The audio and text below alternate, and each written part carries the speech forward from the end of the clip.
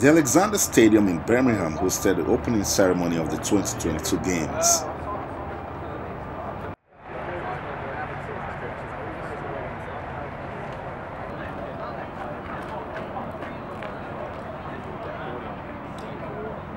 I've come into Birmingham Commonwealth 2022 just to see how the Nigerians are going to perform.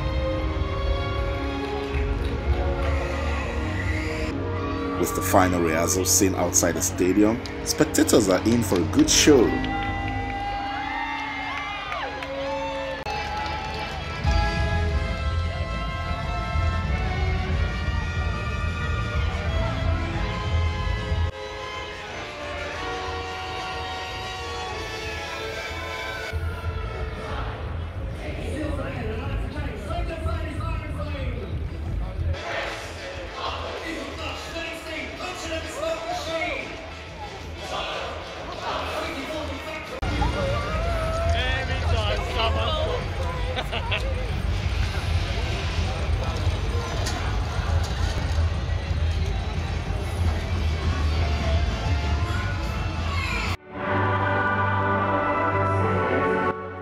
Flags of participating countries are displayed inside the stadium, and Nigeria has been marked present.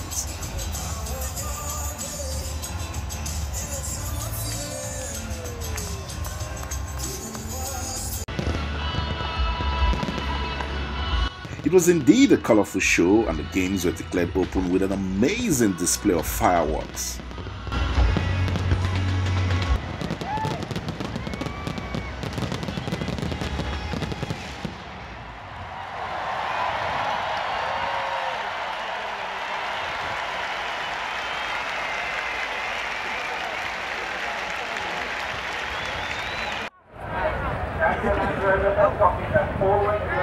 Oh. Opening ceremony done, some fans now want sporting action, others want to see beyond the competition. What, what country are you rooting for at the games? I need to tell me why. It has to be Kenya because all my family are there. I was born there, I was raised there. Jambo, Abai, Ghani. What should we be expecting from the games? um, excellence in sports, the level playing field being demonstrated that, that it doesn't matter about your background, as long as you're good, you're good and you'll win. I'm expecting uh, to see them performing very well, representing the continent of Africa. Uh, because I've seen we have lots of athletes from South Africa, Uganda, Nigeria, um, Ghana, uh, Seychelles Island. So there are lots of athletes from Africa. People from different Commonwealth countries have come here to feel the power of sports. And at the opening ceremony, it was confirmed once again that sports can be used as a tool to unify the world.